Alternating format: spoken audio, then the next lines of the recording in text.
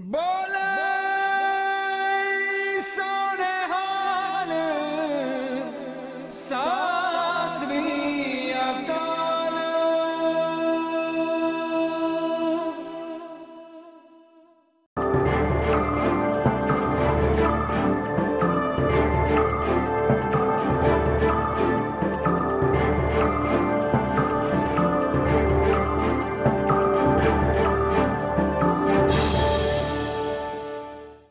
ਵਾਹਿਗੁਰੂ ਜੀ ਕਾ ਖਾਲਸਾ, ਵਾਹਿਗੁਰੂ ਜੀ ਕੀ ਫਤਿਹ। ਸੰਗਤ ਜੀ, ਤੁਸੀਂ ਦੇਖ ਰਹੇ ਹੈਗੇ ਹੋ ਅਕਾਲ ਅਨਸੈਂਸਰਡ ਪ੍ਰੋਗਰਾਮ। ਚ ਆਪ ਜੀ ਦਾ ਦਾਸ ਗੁਰਪ੍ਰੀਤ ਸਿੰਘ, ਦਿੱਲੀ ਸਟੂਡੀਓ ਤੋਂ ਫੇਰ ਸਵਾਗਤ ਕਰਦਾ ਹੈਗਾ।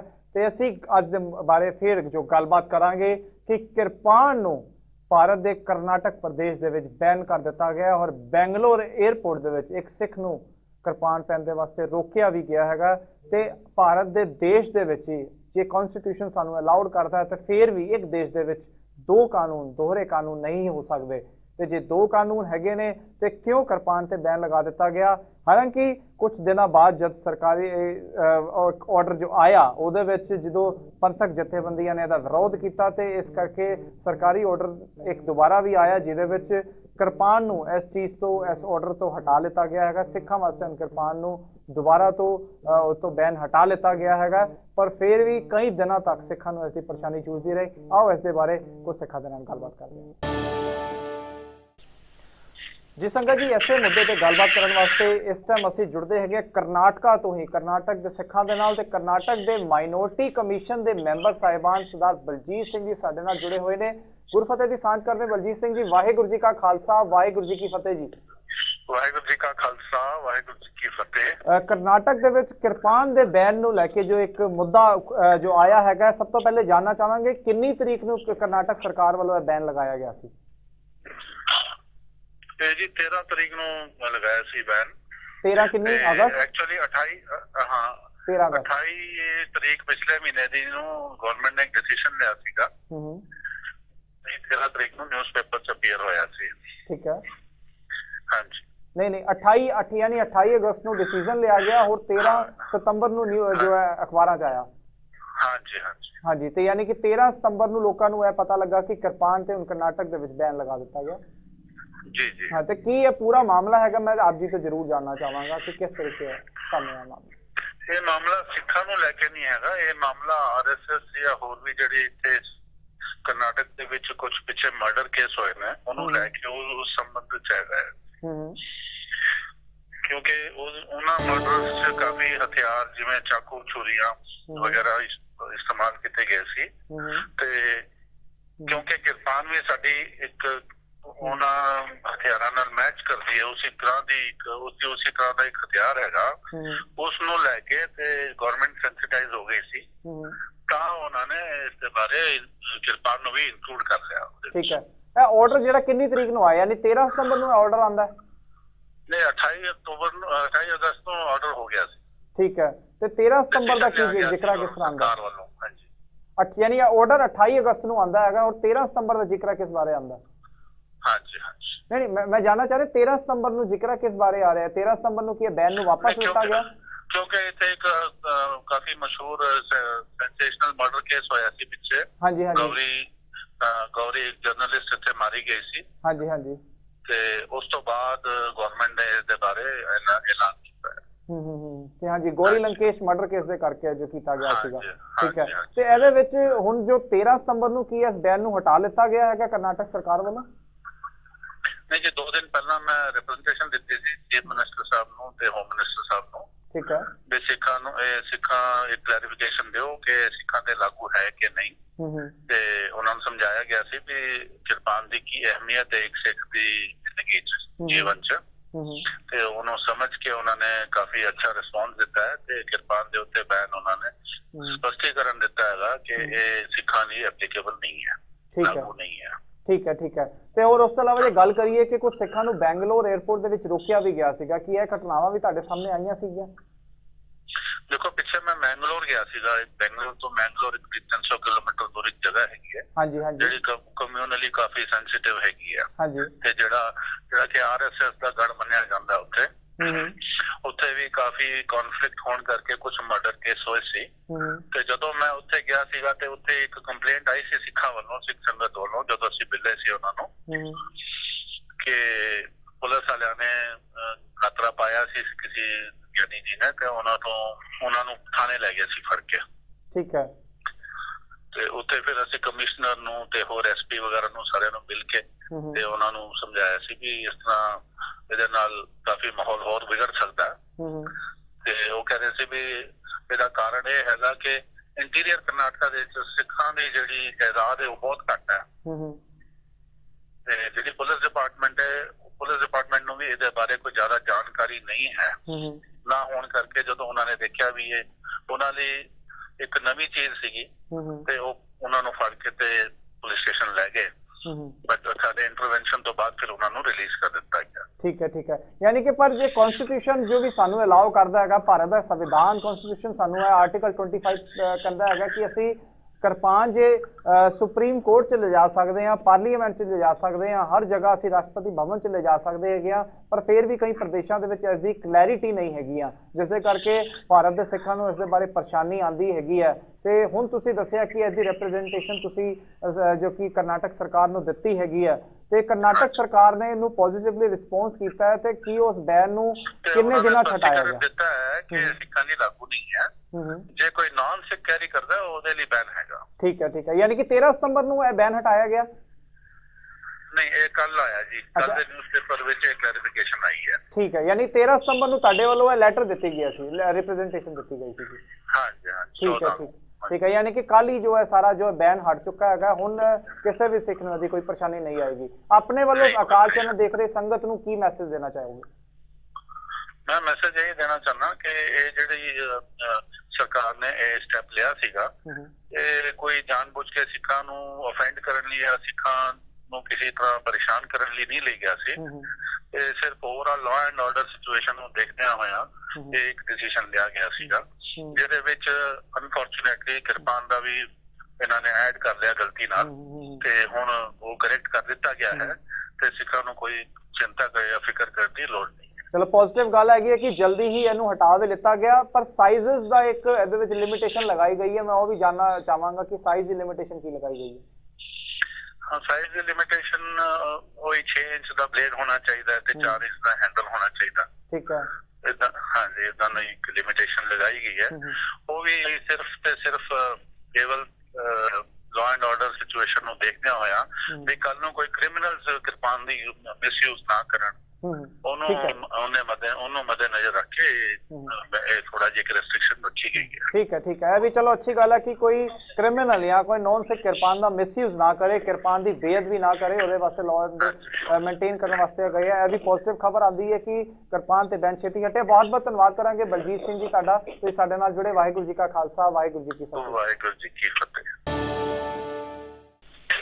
ਜੀ ਹਾਂ ਸੰਗਤ ਜੀ ਇਸੇ ਮੁੱਦੇ ਤੇ ਅਸੀਂ ਜੁੜਦੇ ਹਾਂ ਕਿ ਸਰਦਾਰ ਪਰਮਿੰਦਰ ਪਾਲ ਸਿੰਘ ਜੋ ਕਿ ਬੁਲਾਰੇ ਨੇ ਦਿਲ ਸਿਗਰਾ ਪ੍ਰਬੰਧਕ ਕਮੇਟੀ ਦੇ ਪਰਮਿੰਦਰ ਪਾਲ ਸਿੰਘ ਜੀ ਵਾਹਿਗੁਰੂ ਜੀ ਕਾ ਖਾਲਸਾ ਵਾਹਿਗੁਰੂ ਜੀ ਕੀ ਫਤਿਹ ਜੀ। ਵਾਹਿਗੁਰੂ ਜੀ ਕੀ ਫਤਿਹ ਜੀ ਹਾਂਜੀ। ਸਾਡੇ ਜੋ ਸਟੇਟਸ ਫੇਸਬੁੱਕ ਤੇ ਪੋਸਟ ਕਾਫੀ ਜੋ ਚਰਚੇ ਦੇ ਵਿੱਚ ਹੈਗੀਆਂ ਜਿਹਦੇ ਵਿੱਚ ਕਿਰਪਾਨ ਦੇ ਇਸ ਮੁੱਦੇ ਨੂੰ ਲੈ ਕੇ ਕਾਫੀ ਤੁਸੀਂ ਜੋ ਕਿ ਬਿਆਨ ਇਹਦੇ ਵਿੱਚ ਦਿੰਦੇ ਪਏ ਹੈਗੇ ਕੁਝ ਕੀ ਹੋ ਸਕਦਾ ਕੀ ਨਹੀਂ ਹੋਣਾ ਚਾਹੀਦਾ ਇਹਦੇ ਵੀ ਕੁਝ ਗੱਲਾਂ ਕੀਤੀਆਂ ਸੀ। ਆਪਾਂ ਚਾਹਾਂਗੇ ਇਸ ਬਾਰੇ ਸੰਗਤ ਦੇ ਨਾਲ ਜ਼ਰੂਰ ਤੁਸੀਂ ਦੱਸੋ ਇਸ ਚੀਜ਼ ਨੂੰ ਤੁਸੀਂ ਕਿਸ ਤਰੀਕੇ ਨਾਲ ਦੇਖਦੇ ਹੈਗੇ ਹੋ? ਕਿਰਪਾਨ ਦਾ ਬੈਨ ਹੋਣਾ ਹੋਰ ਭਾਵੇਂ ਉਹ ਬੈਨ ਹਟ ਗਿਆ ਪਰ ਫਿਰ ਵੀ ਉਹਨੂੰ ਇੱਕ ਲਿਮਿਟ ਦੇ ਨਾਲ ਲਗਾ ਦਿੱਤਾ ਗਿਆ ਹੈਗਾ ਕੀ ਕਹਿਣਾ ਚਾਹੋਗੇ?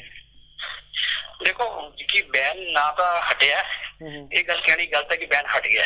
ਠੀਕ ਹੈ। ਬੈਨ ਬੈਨ ਹੈ ਹੂੰ ਹੂੰ, ਜਿੱਥੇ ਤੱਕ ਗੱਲ ਹੈ ਉਹਨਾਂ ਨੇ ਸਿਰਫ ਕਲੈਰੀਫਿਕੇਸ਼ਨ ਦਿੱਤੀ ਹੈ ਕਿ 9 ਇੰਚ ਦੀ ਕਿਰਪਾਨ ਵੈਲਿਡ ਹੈ। ਬੈਨ ਉਸੇ ਤਰ੍ਹਾਂ ਬਰਕਰਾਰ ਹੈ ਔਰ ਕਿਰਪਾਨ ਤੇ ਹੈ।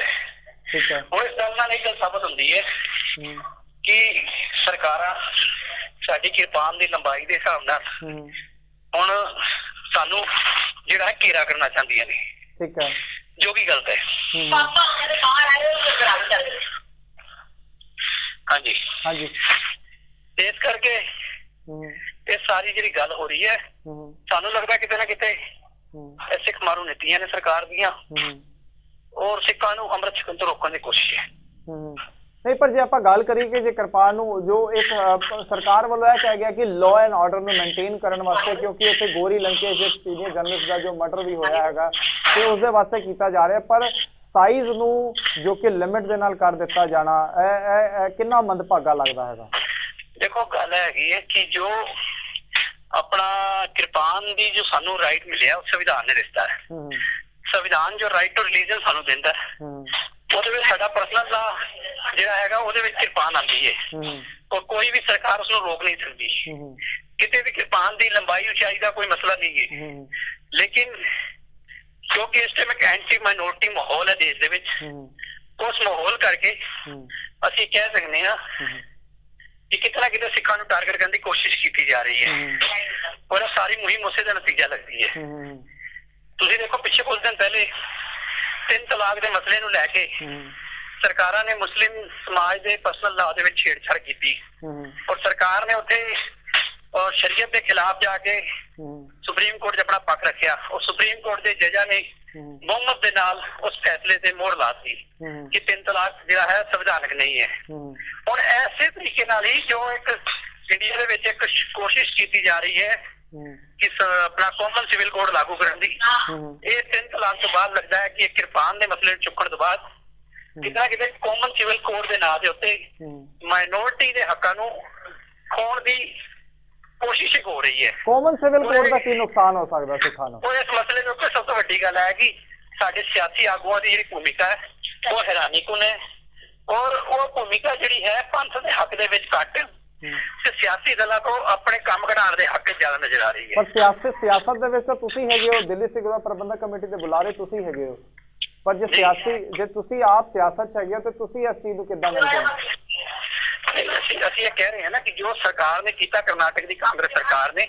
ਉਹ ਗਲਤ ਸੀ ਪਰ ਉਹਦੀ ਨਿੰਦਾ ਕਰਨ ਨੂੰ ਉੱਥੇ ਵੀ ਸਿੱਖਾਂ ਵਿੱਚ ਧੜੇਬੰਦੀ ਪਾਈ ਜਾ ਰਹੀ ਹੈ। ਉਹਦੀ ਨਿੰਦਾ ਕਰਨ ਨੂੰ ਉਹਨੂੰ ਰੋਕਣ ਨੂੰ ਉਹ ਲੋਕਾਂ ਜਿਹੜੇ ਆਪਣੇ ਆਪ ਸਿੱਖਾਂ ਦਾ ਆਗੂ ਕਹਿੰਦੇ ਉਹ ਵੀ ਚੁੱਪ ਨਹੀਂ ਤੇ। ਕਿਤੇ ਨਾ ਕਿਤੇ ਲੱਗਦਾ ਹੈ ਕਿ ਸਰਕਾਰਾਂ ਦਾ ਫਾਇਦਾ ਚੁੱਕਣ ਦੀ ਨੀਤੀ ਤਹਿਤ। ਜੇ ਸਿੱਖ ਆਗੂ ਨੇ ਵਿਕਲੇ ਨੇ। ਉਹ ਸਿੱਖ ਮਸਲੇ ਦੇ ਉੱਤੇ ਆਵਾਜ਼ ਚੁੱਕਣ ਵਾਸਤੇ ਘਬਰਾ ਰਹੇ ਨੇ ਚਾਹੇ ਉਹ ਮਸਲਾ ਕਿਰਪਾਨ ਦਾ ਹੋਵੇ ਕਰਨਾਟਕਾ ਵਿੱਚ ਬੈਨ ਦਾ ਚਾਹੇ ਉਹ ਮਸਲਾ ਸਿੱਕਿਮ ਦੇ ਵਿੱਚ ਗੁਰਦੁਆਰਾ ਸਾਹਿਬ ਦੇ। ਵਿੱਚ ਗੁਰੂ ਗ੍ਰੰਥ ਸਾਹਿਬ ਦੀ ਹੋਈ ਬੇਅਦਬੀ ਦਾ ਹੋਵੇ। ਬਿਲਕੁਲ ਬਿਲਕੁਲ ਜੋ ਜੋ ਜੋ ਜੋ ਮਸਲੇ ਉੱਠ ਰਹੇ ਨੇ ਉਹਨਾਂ ਮਸਲੇ ਤੇ ਬੇਸਿਕ ਦਿੱਲੀ ਗੁਰਦੁਆਰਾ ਕਮੇਟੀ ਬੋਲ ਰਹੀ ਹੈ। ਲੇਕਿਨ ਬਾਕੀ ਸਾਰੀ ਸੰਸਥਾਵਾਂ ਚੁੱਪ ਨੇ। ਤਮਾਸ਼ਾ ਦੇਖ ਰਹੇ ਨੇ ਲੋਕੀ। ਔਰ ਹੈਰਾਨੀ ਕਰਨ ਵਾਲੀ ਗੱਲ ਹੈ। ਕਿ ਅਸੀਂ ਕੀ ਗੱਲ ਹੈ? ਪਰ ਜਾ ਕੇ ਮੌਜੂਦਾ ਸਰਕਾਰ ਦੇ ਜੱਲਾਂ ਦੇ ਵਿੱਚ ਸਰੂਪੇ ਪਾ ਪਾ ਕੇ ਗਲੇ ਤੱਕ ਉਹਨਾਂ ਦੇ ਸਿਰ ਬਦਲ ਭਰ ਦੇਣ ਵਾਲੇ ਬੰਦੇ ਅੱਜ ਚੁੱਪ ਨੇ। ਅੱਜ ਕੋਈ ਇਸ ਮਸਲੇ ਤੇ ਆਪਣੀ ਪ੍ਰਤੀਕਿਰਿਆ ਨਹੀਂ ਦੇ ਰਿਹਾ। ਇਸ ਤੋਂ ਵੱਡੀ ਹੋਰ ਕੀ ਸ਼ਰਮ ਦੀ ਗੱਲ ਹੋ ਸਕਦੀ ਹੈ? ਦੇਖੋ ਜਿਹੜੀ ਇਹ ਗੱਲ ਹੋ ਰਹੀ ਹੈ 9 ਇੰਚ ਦੀ ਕਿਰਪਾਨ ਦੀ ਲੰਬਾਈ ਦੀ ਔਰ 2 ਇੰਚ ਚੌੜੀ ਕਿਰਪਾਨ ਦੀ ਗੱਲ ਉਹ ਵੀ ਕਿਤੇ ਨਾ ਕਿਤੇ ਸਿੱਖ ਅਗਰ ਉਸ ਗੱਲ ਨੂੰ ਮੰਨ ਲੈਂਦੇ ਨੇ ਤੇ ਇਸ ਗੱਲ ਨੂੰ ਮੰਨਣਾ ਪਏਗਾ ਸਾਨੂੰ ਕਿ ਉਸ ਦੇ ਨਾਲ ਜਿੱਥੇ ਨਗਰ ਕੀਰਤਨ ਦੌਰਾਨ ਸਾਡੇ ਪੰਜ ਪਿਆਰੇ ਸਾਹਿਬਾਨ 3 ਫੁੱਟ ਲੰਬੀ ਕਿਰਪਾਨ ਹੱਥੇ ਫੜ ਕੇ ਚੱਲਦੇ ਨੇ। ਉਹਦੇ ਪ੍ਰਦਰਸ਼ਨ ਤੇ ਉਹਨੂੰ ਲੈ ਕੇ ਕੈਰੀ ਕਰਨ ਤੇ ਰੋਕ ਲੱਗ ਗਈ। ਔਰ ਇੱਕ ਤਰ੍ਹਾਂ ਨਾਲ ਇਹ ਨਵਾਂ ਇੱਕ ਇਤਿਹਾਸ ਪੈਦਾ ਕੀਤਾ ਜਾ ਰਿਹਾ ਹੈ ਕਿ ਸਾਡੇ ਇਹਦਾ ਇਹਨਾਂ ਜਿਹੜੇ ਆਪਣਾ ਜੋ ਸਾਡੇ ਆਪਣਾ ਸ਼ਸਤਰ ਨੇ ਜੋ ਸਾਨੂੰ ਗੁਰੂ ਸਾਹਿਬ ਨੇ ਬਖਸ਼ੇ ਨੇ। ਉਹਦੇ ਵਾਸਤੇ ਸਾਨੂੰ ਲਾਇਸੈਂਸ ਲੈਣਾ ਪਏਗਾ ਕਿਤੇ ਨਾ। ਕਿਤੇ ਵੱਡੀ ਕਿਰਪਾਨ ਵਾਸਤੇ ਲਾਇਸੈਂਸ ਸ਼ਬਦ ਦੀ ਮੈਨੂੰ ਬੜੇ ਹੀ ਮਤਲਬ ਅਫਸੋਸ ਦੇ ਨਾਲ ਵਰਤੋਂ ਕਰਨੀ ਪੈ ਰਹੀ ਹੈ ਔਰ ਇਹਦੇ ਨਾਲ ਕਿਤੇ ਨਾ ਕਿਤੇ ਇਹ ਵੀ ਜਾਪਦਾ ਹੈ ਕਿਉਂਕਿ ਉਹਨਾਂ ਨੇ ਆਪਣੇ ਨੋਟੀਫਿਕੇਸ਼ਨ ਸਾਫ਼ ਲਿਖਿਆ ਕਿ ਪ੍ਰਦਰਸ਼ਨ ਨਹੀਂ ਕਰ ਸਕਦੇ। ਪ੍ਰਦਰਸ਼ਨ ਨਹੀਂ ਕਰ ਸਕਦੇ ਮਤਲਬ ਹੈਗਾ ਕਿ ਅਸੀਂ ਉੱਥੇ ਸ਼ਾਇਦ ਹੁਣ ਬੰਗਲੌਰ ਦੇ ਵਿੱਚ ਗੱਤਕਾ ਅਖਾੜਾ ਵੀ ਨਹੀਂ ਖੋਲ ਸਕਦੇ। ਔਰ ਆਪਾਂ ਸ਼ਸਤਰ ਵੀ ਨਹੀਂ ਚਲਾ ਸਕਦੇ ਉੱਥੇ ਨਗਰ ਕੀਰਤਨ ਦੌਰਾਨ ਕਿਉਂਕਿ ਉਹਨਾਂ ਨੇ ਕਿਰਪਾਨ ਭਾਲਾ ਔਰ ਖੁਖਰੀ ਔਰ ਕਈ ਚੀਜ਼ਾਂ ਇਸ ਤਰੀਆਂ ਦੀ ਨੁਕੀਲੀ ਨੇ ਉਹਨਾਂ ਸਾਰੀ ਚੀਜ਼ਾਂ ਨੂੰ ਦਾਤਰੀ ਤੱਕ ਨੂੰ ਉਹਨਾਂ ਨੇ ਬੈਨ ਕਰ ਦਿੱਤਾ ਹੈ। ਯਾਨੀ ਕਿ ਬਿਲਕੁਲ ਸੋਚਣ- ਆਉਂਦੀਆਂ ਨੇ ਹਾਂ, ਕਿ ਇਹ ਇੱਕ ਸੋਚੀ ਸਮਝੀ ਸਾਜ਼ਿਸ਼ ਤਹਿਤ ਸਿੱਖਾਂ ਦੀ ਮਾਰਸ਼ਲ ਜੋ। ਖੇਡ ਹੈ ਗੱਤਾ ਉਹਨੂੰ ਦਬਾਉਣ ਦੀ। ਔਰ ਪੰਜ ਪਿਆਰਿਆਂ ਤੋਂ ਵੀ ਇਹ ਜਿਹੜੀ ਹੈ ਲਾਇਸੈਂਸੀ ਕਿਰਪਾਨ ਹੱਥੇ ਫੜਾਉਣ ਦੀ ਸਾਜ਼ਿਸ਼ ਹੈ। ਬਿਲਕੁਲ ਬਿਲਕੁਲ। ਹੋਰ ਉਸ ਤੋਂ ਇਲਾਵਾ ਨਗਰ ਕੀਰਤਨ ਬੜੀ ਸੋਚੀ ਹੋਈ ਬਿਲਕੁਲ ਠੀਕ ਗੱਲ ਹੈ। ਨਗਰ ਕੀਰਤਨਾਂ ਦੇ ਵਿੱਚ ਗੱਤਕੇ ਅਖਾੜੇ ਲੱਗਦੇ ਨੇ ਪੰਜ ਸਿੰਘ ਸਾਹਿਬਾਨ ਨਿਕਲਦੇ ਨੇ ਪੰਜ ਪਿਆਰੇ ਨਿਕਲਦੇ ਨੇ। ਔਰ ਉਸ ਤੋਂ ਇਲਾਵਾ ਜੋ ਰੋਜ਼ ਸਵੇਰ ਸ਼ਾਮ ਦੇ ਗੱਤਕਾ ਅਖਾੜੇ ਦੀ ਪ੍ਰੈਕਟਿਸ ਹੁੰਦੀ ਹੈਗੀ ਹੈ। ਹਰ ਚੀਜ਼ ਦੇ ਉੱਪਰ ਹੁਣ ਜਿਹੜਾ ਹੈ ਬੈਨ ਲੱਗ ਜਾਏਗਾ। ਯਾਨੀ ਕਿ ਪ੍ਰੋਪਰਲੀ ਇਹ ਬੈਨ ਸਿਰਫ ਦੇਖਣ ਨੂੰ ਜ਼ਰੂਰ ਲੱਗਦਾ ਹੈਗਾ, ਪਰ ਹਟਿਆ ਨਹੀਂ ਹੈਗਾ। ਔਰ ਉਸ ਤੋਂ ਇਲਾਵਾ ਜੇ ਪਰਮਿੰਦਰਪਾਲ ਸਿੰਘ ਜੀ, ਤੁਸੀਂ ਕਰਨਾਟਕ ਦੀ ਗੱਲ ਕਰਦੇ ਹੋ, ਅਸੀਂ ਸਾਡੀ ਦਿੱਲੀ ਦੇ ਵਿੱਚ ਹੀ ਆ ਜਾਂਦੇ ਹੈਗੇ ਆ ਦਿੱਲੀ ਦੇ ਵਿੱਚ ਕਈ ਸਾਲਾਂ ਤੋਂ ਮੈਟਰੋ ਦੇ ਵਿੱਚ, ਦਿੱਲੀ ਮੈਟਰੋ ਦੇ ਵਿੱਚ ਵੀ ਕਿਰਪਾਨ ਨੂੰ ਲਿਜਾਣ ਵਾਸਤੇ 9 ਇੰਚ ਔਰ 3 ਇੰਚ ਦੀ 9 ਇੰਚ ਦੀ ਲਿਮਿਟ ਹੈਗੀ, ਯਾਨੀ 6 ਇੰਚ ਬਲੇਡ ਦਾ ਔਰ 3 ਇੰਚ ਦੇ ਹੈਂਡਲ ਦਾ। ਤੇ ਉਹਦੇ ਬਾਰੇ ਤੁਸੀਂ ਇਸ ਬਾਰੇ ਕੀ ਕਦੀ ਕੋਈ ਸਵਾਲ ਚੁੱਕੇ ਹੈਗੇ ਆ ਕਿ ਨਹੀਂ? ਸਾਡੀ ਆਪਣੀ ਜ਼ਿੰਦਗੀ ਦੇਖੋ ਮੈਂ ਮੈਂ ਜਿਹੜੀ ਖੁਦ ਕਿਰਪਾਨ ਪਾਈ ਹੋਈ ਹੈ ਲਗਭਗ 12 13 ਇੰਚ ਦੀ ਔਰ ਮੈਂ ਮੈਟਰੋ ਵਿੱਚ ਬੜੀ ਵਾਰ ਸਫ਼ਰ ਕੀਤਾ। ਮੈਨੂੰ ਕਿਸੇ ਨੇ ਨਹੀਂ ਰੋਕਿਆ ਨਾ ਟੋਕਿਆ। ਹੁਣ ਇਹ ਕਿਹੜਾ ਬੰਦਿਆਂ ਰੋਕਿਆ ਗਿਆ ਕਿੰਨਾ ਲੋਕਾਂ ਦੇ ਨਾਲ ਬਹਿਸ ਹੋਈ ਇਸ ਗੱਲ ਦਾ ਵੀ ਜਾਂਚ ਦਾ ਵਿਸ਼ਾ ਹੈ। ਔਰ ਮੈਂ ਤੁਹਾਨੂੰ ਦੱਸ ਦਿਆਂ ਕਿ ਮੈਂ ਅੱਜ ਤੋਂ ਡੇਢ ਦੋ ਸਾਲ ਪਹਿਲੇ ਗੁਰੂ ਨਾਨਕ ਗੁਰੂ ਗੋਬਿੰਦ ਸਿੰਘ ਦੇ ਨਗਰ ਕੀਰਤਨ ਦੌਰਾਨ ਟੈਗੋਰ ਗਾਰਡਨ ਸਟੇਸ਼ਨ ਤੋਂ ਵੱਡੀ ਸ੍ਰੀ ਸਾਹਿਬ ਹੱਥੇ ਪੜ ਕੇ ਮੋਤੀ ਨਗਰ ਤੱਕ ਆਇਆ ਸੀ। ਔਰ ਮੈਨੂੰ ਕਿਸੇ ਸਟੇਸ਼ਨ ਦੇ ਉੱਤੇ ਕਿਸੇ ਸੀਆਈਐਸਐਫ ਦੇ ਬੰਦੇ ਨੇ ਕਿਸੇ ਨੇ ਨਹੀਂ ਰੋਕਿਆ ਸੀ ਨਗਰ ਕੀਰਤਨ ਦੌਰਾਨ। ਠੀਕ ਹੈ ਇਹ ਠੀਕ ਤਾਂ। ਬੰਦੇ ਨੂੰ ਵੇਖ ਕੇ ਰੋਕਦੇ ਨੇ ਚੋਣਵੇਂ ਬੰਦਿਆਂ ਨੂੰ ਜਾਂ ਕਿਸੇ ਮਤਲਬ ਸ਼ਰਾਰਤੀ ਕੋਈ ਨਜ਼ਰ ਆਉਂਦੇ ਅਨਸਰ ਨੂੰ ਅਗਰ ਵੇਖ ਕੇ ਉਹ ਕੋਈ ਇਸ ਤਰ੍ਹਾਂ ਦੀ ਗੱਲ ਕਰਦੇ ਨੇ ਕਿਰਪਾਨ ਨੂੰ ਲੈ ਕੇ ਤੇ ਵੱਖਰਾ ਮਸਲਾ ਹੋ ਸਕਦਾ। ਪਰ ਮੈਂ ਖੁਦ ਮੈਟਰੋ ਦੇ ਵਿੱਚ ਵੱਡੀ ਕਿਰਪਾਨ ਲੈ ਕੇ ਖੁਦ ਆਇਆ ਲੇਕਿਨ ਕਿਸੇ ਨੇ ਨਹੀਂ ਰੋਕਿਆ।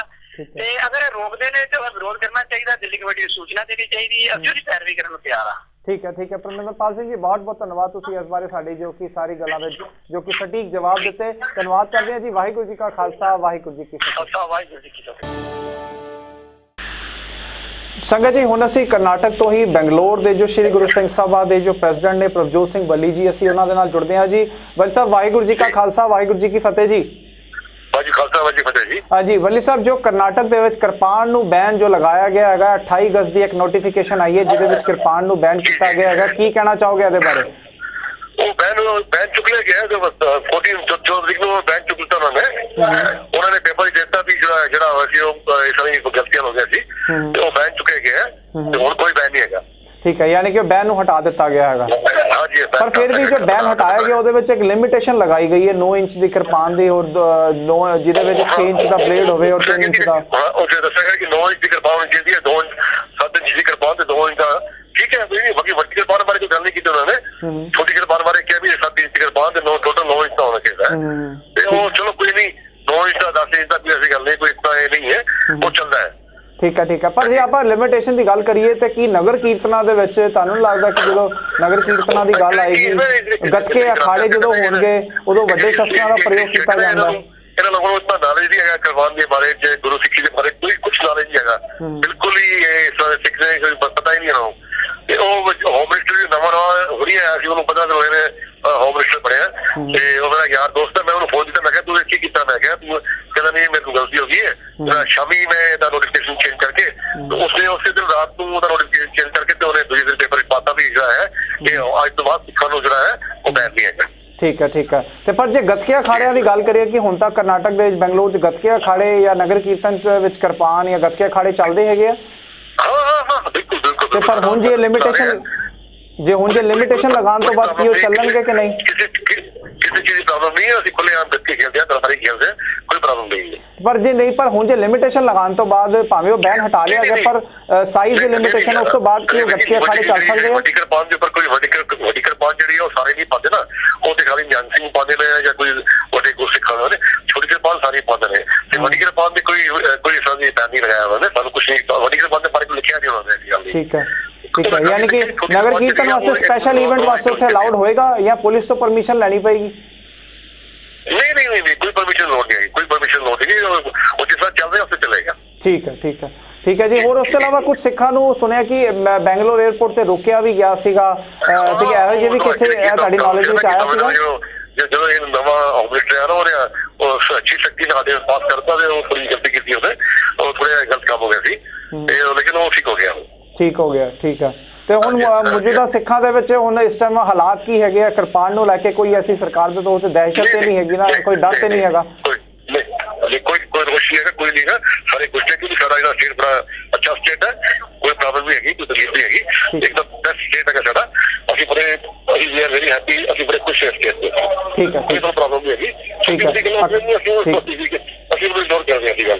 ਕੀ ਇਹ ਕੀ ਮੈਸੇਜ ਦੇਣਾ ਚਾਹੋਗੇ? ਅਕਾਲ ਚੈਨਲ ਦੇਖ ਰਹੇ ਦਰਸ਼ਕਾਂ ਨੂੰ ਕੀ ਮੈਸੇਜ ਦੇਣਾ ਚਾਹੋਗੇ? ਹੈਲੋ ਹਾਂਜੀ ਮੈਂ ਕਿਹਾ ਅਕਾਲ ਚੈਨਲ ਦੇਖ ਰਹੇ ਦਰਸ਼ਕਾਂ ਨੂੰ ਕੀ ਮੈਸੇਜ ਦੇਣਾ ਚਾਹੋਗੇ ਆਪਣੇ ਵੱਲੋਂ? ਆਵਾਜ਼ ਹੀ ਆ ਰਹੀ ਹੈ ਹੁਕਮ ਦੁਬਾਰਾ ਸੈਕਿੰਡ ਮੈਂ ਕਹਿ ਰਿਹਾ ਅਕਾਲ ਚੈਨਲ ਦੇਖ ਰਹੇ ਦਰਸ਼ਕਾਂ ਨੂੰ ਕੀ ਮੈਸੇਜ ਦੇਣਾ ਚਾਹੋਗੇ ਜੀ? ਕੋਈ ਕੋਈ ਮਸੀ ਮੈਸੇਜ ਇਹੀ ਹੈ ਬਸ ਜਿਹੜਾ ਅਸੀਂ ਇਸ ਫਿਗਰ ਨੇ ਕਾਫੀ ਬੈਲੈਂਸ ਕਰਕੇ ਬੈਲੈਂਸ ਕਰਕੇ ਬੜਾ ਆਪਣਾ ਇਹਨਾਂ ਨੇ ਫਟਾਫਟ ਇਹਨਾਂ ਲੈਟਰ ਲਿਖਿਆ ਅਸੀਂ ਸਾਰਿਆਂ ਨੂੰ ਲੈਟਰ ਲਿਖ ਕੇ ਤੇ ਸਾਰਿਆਂ ਨੂੰ ਕੀਤਾ ਤੇ ਇੱਥੇ ਗੁਰਸਿੱਖੀ ਦੇ ਬੜਾ ਸਾਡਾ ਜਿਹੜਾ ਬਹੁਤ ਚੱਲ ਰਿਹਾ ਹੈ। ਐਸੇ ਸਾਡੇ ਗੁਰਸਿੱਖੀ ਦੇ ਗੁਰਸਿੱਖੀ ਦੇ ਬਾਰੇ ਚ ਪਿਛਲੀ ਕਾਰ ਅੱਗੇ ਪਿੱਛੇ ਬਹੁਤ ਜ਼ਿਆਦਾ ਪ੍ਰਚਾਰ ਚੱਲ ਰਿਹਾ ਗੁਰਸਿੱਖੀ ਦਾ ਤੇ ਉਹਨਾਂ ਨੂੰ ਕੋਈ ਕਿਸੇ ਚੀਜ਼ ਦੀ ਪਰਵਾਹ ਨਾ ਕਰੋ। ਸਾਨੂੰ ਦਿੱਲੀੋਂ ਮੈਨੂੰ ਫੋਨ ਆਇਆ ਇੱਥੋਂ ਕੈਨਲ ਤੋਂ ਫੋਨ ਆਇਆ ਆਪਣਾ ਚੜ੍ਹਦੀ ਕਲਾ ਤੋਂ ਫੋਨ ਆਇਆ ਮੈਨੂੰ। ਉਸ ਤੋਂ ਬਾਅਦ ਜਿਹੜਾ ਪੀਟੀਸੀ ਚੈਨਲ ਤੋਂ ਰਿਹਾ ਤੇ ਸਾਨੂੰ ਦੱਸਿਆ ਵੀ ਕੋਈ ਕਿਸੇ ਦੀ ਕਿਸੇ ਚੀਜ਼ ਦੀ ਪਰਵਾਹ ਨਹੀਂ ਹੈਗੀ। ਇਹ ਤਾਂ ਸਭ ਠੀਕ ਠਾਕ ਹੈਗਾ। ਠੀਕ ਹੈ ਠੀਕ ਹੈ ਜੀ। ਬਹੁਤ ਬਹੁਤ ਧੰਨਵਾਦ ਕਰਦੇ ਜੀ ਆਪ ਜੀ ਦਾ। ਵਾਹਿਗੁਰੂ ਜੀ ਕਾ ਖਾਲਸਾ ਵਾਹਿਗੁਰੂ ਜੀ ਕੀ ਫਤਿਹ ਜੀ। ਵਾਹਿਗੁਰੂ ਜੀ ਫਤਿਹ ਵਾਹਿਗੁਰੂ ਜੀ ਫਤਿਹ। ਜੀ ਹਾਂ ਸੰਗਤ ਜੀ ਹੁਣ ਅਸੀਂ ਜੁੜਦੇ ਹਾਂ Sardar Jaswinder Singh Joli legal adviser Delhi committee ਉਹਨਾਂ ਨਾਲ ਜੁੜਦੇ ਹਾਂ ਜੀ। ਵਾਹਿਗੁਰੂ ਜੀ ਕਾ ਖਾਲਸਾ ਵਾਹਿਗੁਰੂ ਜੀ ਕੀ ਫਤਿਹ ਜੀ। ਵਾਹਿਗੁਰੂ ਜੀ ਕਾ ਖਾਲਸਾ ਵਾਹਿਗੁਰੂ ਫਤਿਹ ਜੀ। ਸੀਨੀਅਰ ਤੁਸੀਂ ਐਡਵੋਕੇਟ ਹੈਗੇ ਹੋ ਲੀਗਲ ਸੈੱਲ ਦੇ ਤੁਸੀਂ ਜੋ ਕਿ ਸਾਰਾ ਕੰਮ ਦੇਖਦੇ ਹੈਗੇ ਹੋ। ਕਿਰਪਾਨ ਭਾਰਤ ਦੇ ਸੰਵਿਧਾਨ ਦੇ ਵਿੱਚ ਕਨਸਟੀਟਿਊਸ਼ਨ ਦੇ ਅਕੋਰਡਿੰਗਲੀ ਕਿਸ ਤਰ੍ਹਾਂ ਕੀ ਅਲਾਉਡ ਹੈ ਜਾਂ ਨਹੀਂ ਹੈ ਉਹਦੀ ਲਿਮਿਟੇਸ਼ਨ ਹੈ ਜਾਂ ਨਹੀਂ ਹੈ ਇਸ ਬਾਰੇ ਜਾਨਣਾ ਚਾਹਾਂਗੇ। देखिए तो- देखो constitution of India article 25 B ਹੂੰ ਹੂੰ ਬੜਾ ਕਲੀਅਰ ਹੈ ਉਹਦੇ ਅੰਦਰ ਸਿੱਖਾਂ ਨੂੰ ਕਿਰਪਾਨ ਪਾ ਕੇ ਪੂਰੇ ਦੇਸ਼ ਦੇ ਅੰਦਰ ਘੁੰਮਣ ਦੀ ਇਜਾਜ਼ਤ ਹੈ ਹੂੰ ਹੂੰ ਈਵਨ ਕਿ ਜਿਹੜੀ ਨੈਸ਼ਨਲ ਫਲਾਈਟਸ ਹੈਗੀਆਂ ਡੋਮੈਸਟਿਕ ਫਲਾਈਟਸ ਹੈ ਉਸ ਤੇ ਵੀ ਘੁੰਮ ਸਕਦੇ ਆ ਜਾ ਸਕਦੇ ਆ ਹੂੰ ਸਿਰਫ ਆਬਜੈਕਸ਼ਨ ਇੰਟਰਨੈਸ਼ਨਲ ਫਲਾਈਟ ਦੀ ਹੈ ਜਾਂ ਅਸੀਂ ਆਪਣੀ ਜਿਹੜੀ ਇੰਡੀਅਨ ਸੀ ਕ੍ਰਾਸ ਕਰਾਂਗੇ ਉਸ ਤੋਂ ਬਾਅਦ ਆਬਜੈਕਸ਼ਨ ਹੈ ਇੰਡੀਅਨ ਟੈਰੀਟਰੀ ਦੇ ਅੰਦਰ ਕਨਸਟੀਟਿਊਸ਼ਨ ਆਫ ਇੰਡੀਆ ਤੋਂ ਹਰ ਗੁਰੂ ਦਾ ਸਿੱਖ ਪ੍ਰੋਟੈਕਟਡ ਹੈ ਕਿਰਪਾਨ ਪਾ ਸਕਦਾ ਹੈ ਆਰਟੀਕਲ 25 ਬੀ ਪੂਰੀ ਪਰਮਿਸ਼ਨ ਦਿੰਦੀ ਹੈ। ਕਨਸਟੀਟਿਊਸ਼ਨ ਆਫ ਇੰਡੀਆ ਤੋਂ ਉੱਪਰ ਕੋਈ ਕਾਨੂੰਨ ਨਹੀਂ। ਕਿਸੇ ਸਟੇਟ ਦਾ ਕੋਈ ਆਰਡਰ ਨੋਟੀਫਿਕੇਸ਼ਨ ਹੂੰ ਜਿਵੇਂ ਕਰਨਾਟਕਾ ਦੀ ਕਾਂਗਰਸ ਦੀ ਖਾਸ ਤੌਰ ਤੇ ਕਾਂਗਰਸ ਦੀ ਸਰਕਾਰ ਹੀ ਹੁੰਦੀ ਹੈ ਜਿੱਥੇ ਉੱਥੇ ਇਹ ਸ਼ਰਾਰਤਾਂ ਹੁੰਦੀ ਹੈ ਹੂੰ ਜਿਵੇਂ ਕਾਂਗਰਸ ਦੀ ਸਰਕਾਰ ਨੇ ਇਹ ਨੋਟੀਫਿਕੇਸ਼ਨ ਉੱਥੇ ਕੱਢਿਆ ਕਿ ਸਿੱਖ ਜਿਹੜੇ ਨੇ ਉਹ ਕਿਰਪਾਨ ਨਹੀਂ ਪਾ ਸਕਦੇ ਕਰਨਾਟਕਾ ਚ ਬੈਂਕ ਬੈਂਗਲੌਰ ਚ ਉਹ ਬਿਲਕੁਲ ਗਲਤ ਹੈ ਇਲੀਗਲ ਹੈ ਔਰ ਉਹਨਾਂ ਨੂੰ ਨਹੀਂ ਕਰਨਾ ਚਾਹੀਦਾ ਸੀ ਬੜੀ ਵੱਡੀ ਗਲਤੀ ਕੀਤੀ ਹੈ ਔਰ ਮੈਂ ਸਮਝਦਾ ਕਿ ਬੜੀ ਵੱਡੀ ਇਨਸਲਟ ਕਨਸਟੀਟਿਊਸ਼ਨ ਆਫ ਇੰਡੀਆ ਦੀ ਕੀਤੀ ਉਹਨਾਂ ਨੇ ਜੋਲੀ ਜੀ ਹਾਲਾਂਕਿ 20 15 20 ਦਿਨਾਂ ਦੇ ਵਕਫੇ ਦੇ ਬਾਅਦ ਉਹਨੂੰ ਉਸ ਬੈਨ ਨੂੰ ਹਟਾ ਵੀ ਲਿੱਤਾ ਗਿਆ ਕੱਲ ਹੀ ਹਟਾਇਆ ਗਿਆ ਹੈਗਾ ਉਸ ਬੈਨ ਨੂੰ ਤੇ ਪਰ ਉਹਦੇ ਵਿੱਚ ਵੀ ਇੱਕ ਲਿਮਿਟ ਲਗਾ ਦਿੱਤੀ ਹੈ 9 ਇੰਚ ਦੀ ਔਰ 9 ਇੰਚ ਔਰ ਪਲੱਸ 2 ਇੰਚ ਉਹਦੀ ਵਿਡਥ ਦੀ ਜਿਹੜੀ ਲਿਮਿਟ ਲਗਾ ਦਿੱਤੀ ਗਈ ਹੈ ਕੀ ਇਹ ਲਿਮਿਟ ਸਿਰਫ ਕਰਨਾਟਕ ਵਿੱਚ ਹੈਗੀ ਹੈ ਜਾਂ ਆਲ ਓਵਰ ਇੰਡੀਆ ਦੇ ਵਿੱਚ ਹੈਗੀ ਹੈ ਨਹੀਂ ਉਹ ਐਕਚੁਅਲੀ ਲਿਮਿਟ ਜਿਹੜੀ ਹੈ ਆਰਮਸ ਐਕਟ ਤੇ ਮੈਂਸ਼ਨ ਹੈ ਕਈ ਸਟੇਟਾਂ ਦੇ ਵਿੱਚ ਇਸੇ ਤਰ੍ਹਾਂ ਦੀ ਲਿਮਿਟ ਹੈ ਕਿਰਪਾਨ ਦੇ ਸਾਈਜ਼ ਦੇ ਉੱਪਰ।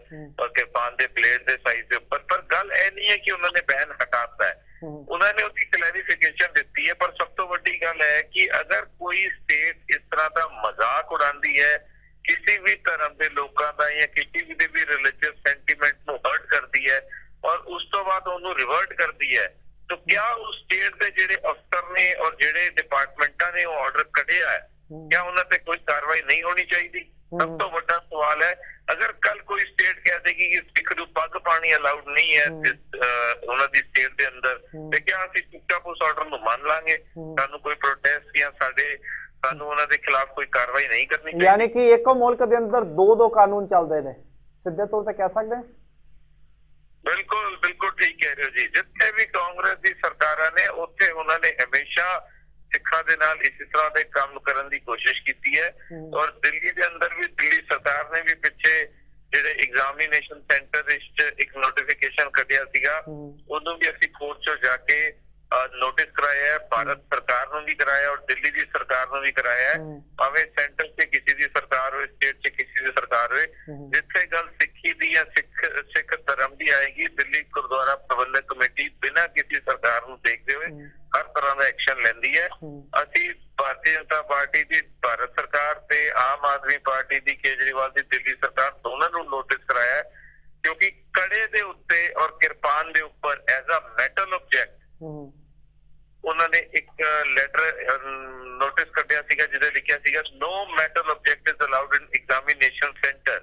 ਤੇ ਮੈਂ ਤੁਹਾਨੂੰ ਦੱਸਦਾ ਉਸ ਤੇ ਵੀ ਨੋਟਿਸ ਇਸ਼ੂ ਹੋ ਚੁੱਕਾ ਹੈ ਇਸੇ ਤਰ੍ਹਾਂ ਪੰਜਾਬੀ ਲੈਂਗੁਏਜ ਦੇ ਮੈਟਰ 'ਚ ਵੀ ਭਾਰਤ ਸਰਕਾਰ ਤੇ ਦਿੱਲੀ ਸਰਕਾਰ ਦੋਨਾਂ ਦੇ ਉੱਪਰ ਅਸੀਂ ਹਾਈ ਕੋਰਟ ਤੋਂ ਨੋਟਿਸ ਇਸ਼ੂ ਕਰਾਇਆ ਹੈ। ਦਿੱਲੀ ਗੁਰਦੁਆਰਾ ਕਮੇਟੀ ਜਿੱਥੇ ਵੀ ਗੱਲ ਪੰਜਾਬੀ ਭਾਸ਼ਾ ਦੀ ਹੋਏ ਕਿਰਪਾਨ ਦੀ ਹੋਏ ਕੜੇ ਦੀ ਹੋਏ।